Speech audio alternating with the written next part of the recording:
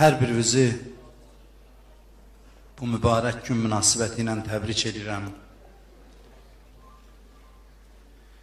İki müqəddəs şəxsiyyətin, iki dəyərli insanın Mövlud günü Peyğəmbərimizin və İmam Cəfər Sadiq əleyhissalamın doğum günü münasibəti ilə burada oturan hər birinizi, hər bir qardaş bacılarımızı təbrik edirəm tək-tək.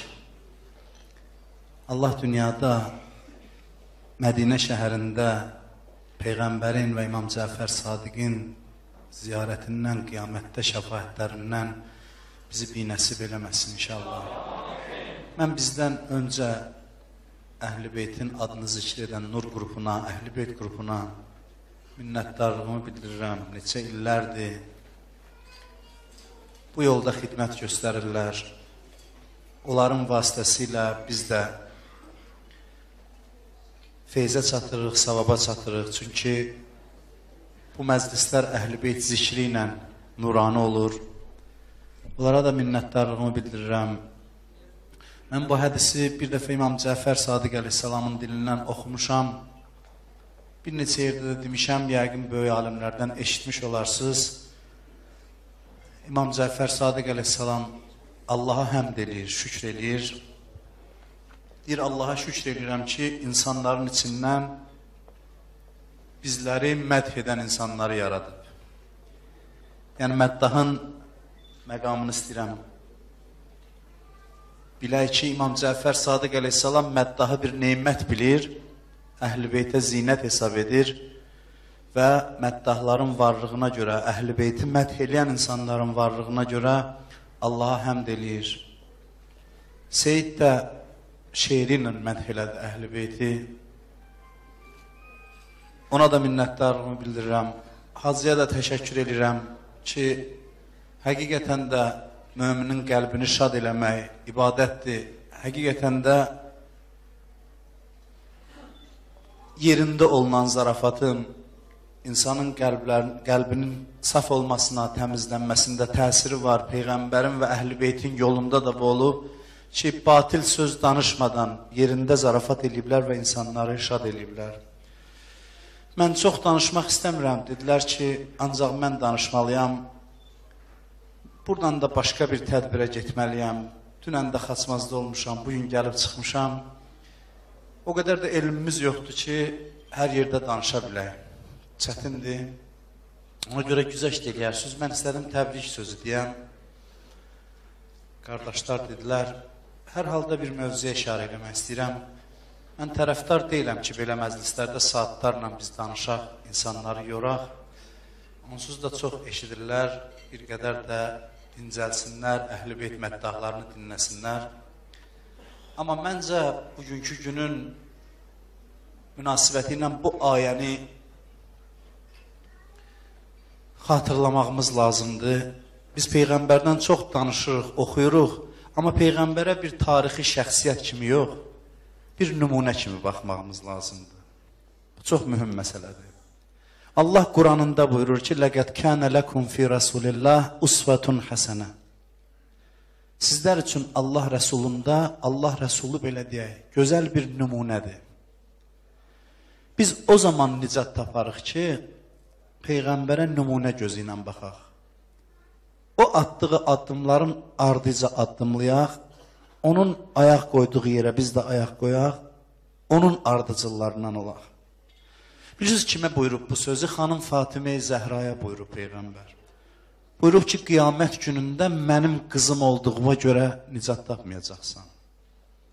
Qiyamət günündə kim mənə əməl baxımından yaxındırsa, o nicat tapacaq. Peyğəmbərin Məkkədə dişini vurub sındıran, təhqir edən Peyğəmbərin əmisi idi. Amma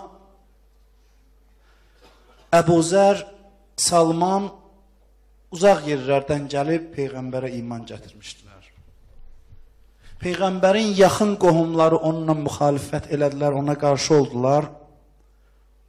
Amma Uveys Peyğəmbəri bir dəfə görmədən Peyğəmbərə aşiq olmuşdu Və Peyğəmbər hər dəfə deyirdi ki, Uveys yaşayan yerin adını çəkirdi. Deyirdi Yəmən tərəfdən cənnət qoxusu hiss edirəm. Uveysin qoxusunu hiss edirəm. Ömründə bircə dəfə peyğəmbəri görmədən bir məqama çatır ki, peyğəmbər də ona aşiq olur. Peyğəmbər onun vurğunu olur. O peyğəmbərə aşiqdir, peyğəmbər də ona. Amma peyğəmbərin minbərinin altında oturan insanlar peyğəmbəri tanımamışdılar. Peyğəmbər vəfat eləyəndə cənazəsi yerdə qalmışdı. Hakimiyyət davası eləyirdilər. Peyğəmbərin cənazəsini dəfn eləyəndə məhdud sayda müsəlmanlar iştirak elədilər. Uveys bir dəfə peyğəmbəri görmədən uzaqdan peyğəmbərə aşiq idi. Aşiqliyi də dildə deyildi, əməllə imza ilə imzalamışdı eşqini, məhəbbətini və ona görə peyğəmbər də ona məhəbbətlə yanaşırdı. Gəlmişdi bir gün Mədinəyə peyğəmbəri görməyə, anası demişdi tez qayıdacaq. Peyğəmbər gəlir, o gözləyir peyğəmbəri görür yoxdur evdə. Bir qədər gözlədikdən sonra gedir. Neçə il həsrətində qalıb ki, peyğəmbəri görsün, amma ana deyib tez qayıt gəl. Peyğəmbərin dinində buyurulub ki, ananın sözündən gərək çıxmayasan.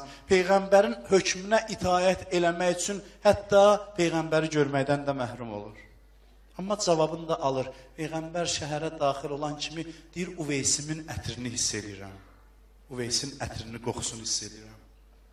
Siz xoşbəxt insanlarsınız. Sizi zaman ayırır peyğəmbərdən. Biz hər birimiz xoşbəxt insanıq. Böyük bir zaman ayırır bizi peyğəmbərdən. Amma peyğəmbər sizləri özünə qardaş adlandırır. Bu sözümə qiyamətdə dəlilim var. Hədisdə özü buyurur ki, bir gün gözü yaşlı dua elədi ki, ilahi qiyamət günü qardaşlarımı mənimlə görüşdür. Sahabələr sevindilər, dedilər ki, ya Rəsulallah, qardaş deyəndə yəqin bizi nəzərdə tutursan. Dedi, xeyr, siz mənim sahabələrimsiz, mənim qardaşlarım axirət zamanda yaşayacaq. Onlar məni görmədən, yazılar üzərindən, kağızlar üzərindən məni tanıyacaqlar. Mənim sözümü oxuyub mənə iman gətirəcəklər. Kimlərinsə dilindən eşidib iman gətirəcəklər. Siz öz dilimdən eşidirsiniz. Onların qiyməti sizdən də artıqdır. Sizin dəyəriniz çox böyükdür. Bu məclisi təşkil edən, burada iştirak edən insanların ki, peyğəmbər sizi özünə qardaş bilib, qardaş olmağa layiq bilib. Amma bir şərtlə ki, dildə olmaya bu məhəbbət əməllə təsdiq olunar. Biz də Uveys kimi peyğəmbəri görməmişik. Amma onu görmədən ona iman gətirsək, onun dediklərinə itayət eləsək, and olsun Allaha ki, peyğəmbər özündən ayırmayacaq bizi qiyamətdə. Bizə xüsusi inayət eləyəcək. Öz zamanının insanlarından daha çox bizə lütf eləyəcək. Çünki biz onun pak nəfəsini duymadan ona iman gətirmişik rəhmət peyğəmbəridir. Neçə dənə hədislərdə mən görmüşəm ki, peyğəmbərin qiyamət günü qəbirdən qalxandan ilk icazə danışmağa icazə verilən şəxs peyğəmbərdir. Qəbirdən qalxandan cənnətə girənə qədər, daxil olana qədər yeganə qayğısı günahkarların bağışlanması olacaq. Bunu gedin kitablara baxın. Peyğəmbər qəbirdən durandan danışmağa icazə verilən kimi birinci sözü bu olacaq. Ümməti, ümməti. İlahi ümmətimi bağışla. Bütün məhşəri dolanacaq, gəzəcək və ümmətinin bağışlanmasını Allahdan istəyəcək. Hətta xanım Zəhraya deyib ki, məni heç yerdə də görməsən, cəhənnəmin yanında görərsən. Peyğəmbər hara, cəhənnəm hara? Peyğəmbər bir hansı zirvədən düşüb enib dünyaya, cəhənnəm dünyadan da aşağı bir yerdir. Peyğəmbər Allaha ən yaxın bir varlıqdır. Əvvəlü mən xələqəllah nuri. İlk yaratdığı varlıq Allahın Peyğəmbər özü buyurur, mənim nurumdur. Bunu neçə yerdə eşitmişsiniz. Peyğəmbər buyurur, mələklər zikr bilmirdilər. Mələklər Allahı tanımırdılar. Biz əhl-i beyt yarandıq, mələklərə zikr deməyi biz öyrətdik.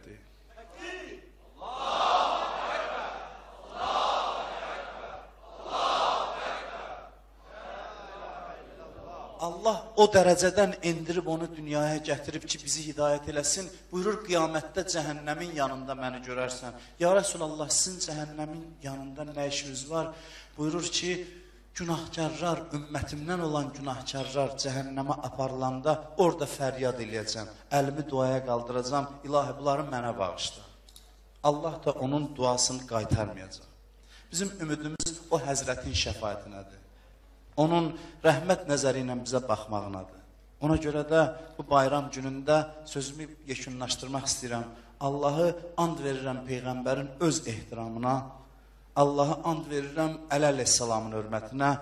Məddah qardaşımız gözəl söz dedi ki, peyğəmbərin adı çəkiləndə Əlinin adı da çəkilsə yaxşıdır, zəruridir.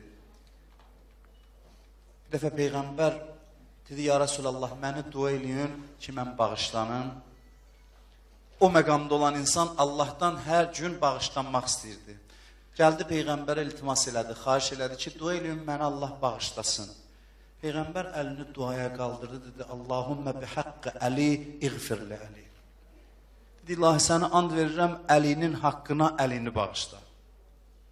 Dedi: "Ya Rasulullah, bu necə duadır mənim barəmdə elə?" Düz buyurdu ki, ərz elədi ki, buyurdu ki, peyğəmbər bütün yer üzünə baxdım, səndən dəyərli insan görmədim. Allah ona and verər. Peyğəmbərdən sonra ən üstün şəxsiyyət əleyhissalamdır. Mən də bu gün Allaha and verirəm peyğəmbərin haqqına, onun haqq olan canişini əleyhissalamın, xanım Fatimə Zəhranın, İmam Həsən, İmam Hüseynin və onların övladlarının haqqına Allah bayramlıq olaraq, bayram hədiyyəsi olaraq bizi bu gün elə bu məclisdə günahlarımızı bağışlasın və bağışlamamış bizi bu məclisdən yola salmasın. Allah bizi Peyğəmbərin həqiqi tərəfdarlarından, həqiqi ardıcal, ardıcıllarından qərar versin. Allah bizi o həzrətin məktəbini tanıyıb tanıtdıranlardan qərar versin inşallah. Allah əməllərimizdə bizə xalis niyyət, ixlas inayət eləsin inşallah. Bir daha təşəkkür edirəm tədbirin təşkilatçılarına, hər bir zəhməti keçən, əziyyət çəkən insana və mən sizdən üzr istəyirəm. Sağollaşıb getməliyəm, bir məclisə də çatmalıyam. Üzrlü sayıram ki, mən oturub davam eləyə bilməyəcəm sizlə bircə. Çox sağ olun və assalamu aleykum və rəhmətullah və bərəkatuhu.